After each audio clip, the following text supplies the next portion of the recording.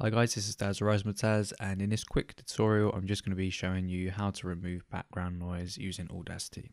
So just going to record a short clip and leave 3 to 5 seconds at the beginning so we have somewhere to tell Audacity that that's what we want left out. So here we go. This is a microphone test for my Audacity tutorial.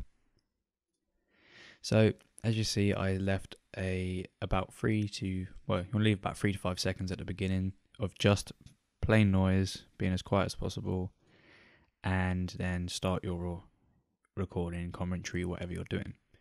So the first thing I like to do is select the entire clip, go to Effect, Normalize, and normalize it to minus one dB.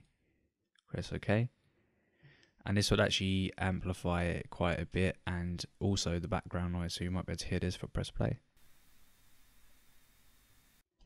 And the reason I do that instead of just a noise reduction first is because it tends to be easier to get rid of background noise once it's amplified a bit first.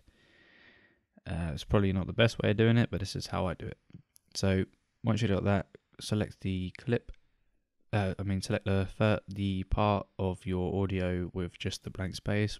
Go to Effect, uh, Noise Reduction, Get Noise Profile, and now press Control A on your keyboard to select the entire clip.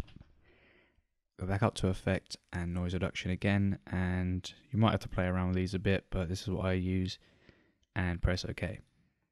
So now if we listen to it, it should have got rid of most of the background noise.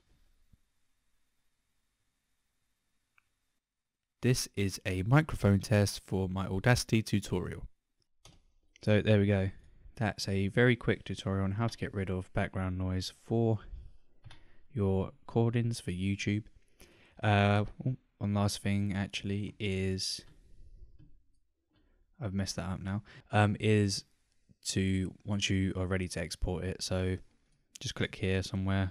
I don't think you have to, but just highlight it file, export audio, and save it as a WAV file. So thank you very much for watching this very quick tutorial. Um, I also have a tutorial going up for absolute beginners if you have no idea how to use Audacity at all and how to set up your audio hardware and all that sort of thing. So thank you very much for watching guys and I'll see you next time.